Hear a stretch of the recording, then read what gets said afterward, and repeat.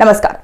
आप देख रहे हैं चंबल तक। मैं हूँ आपके साथ मानवी ठाकुर। भिंड ज़िले में सरपंच और सचिवों की हेरा फेरी रुकने का नाम नहीं ले रही है। आपको बता दें, भिंड कलेक्टर संजीव श्रीवास्तव के द्वारा फर्जी भुगतान और भ्रष्टाचार पर लगाम लगाने हेतु लगातार प्रयास किए जा रहे हैं, लेकिन सरपंच और सचिवों की मनमानी रुकने का नाम नहीं ले रही है। आपको बता दें कि ये ताज़ा मामला भिंड ज़िले के गोहद जनपद पंचायत से सामने आया है, जहाँ ग्राम पंचायत पिपाहड़ी में सरपंच एवं सचिव में फर्जी जॉब कार्ड एवं फर्जी मस्टर में की लाखों हेराफेरी की है। आपको बताते चलें, फरियादी एवं पीड़ित ने शिकायती आवेदन के साथ शपथ पत्र देकर वरिष्ठ अधिकारी एवं मीडिया से न्याय की गुहार लगाई है। सरपंच व सचिव के द्वारा ग्राम पंचायत में मनरेगा कार्य मजदूरों के द्वारा कराया जाना बताकर उनके नाम से राशि निकाली गई है, जबकि उक्त निर्माण में एक महिला मजदूर शामिल है, जबकि उस महिला के द्वारा कोई मजदूरी का कार्य नहीं किया गया है।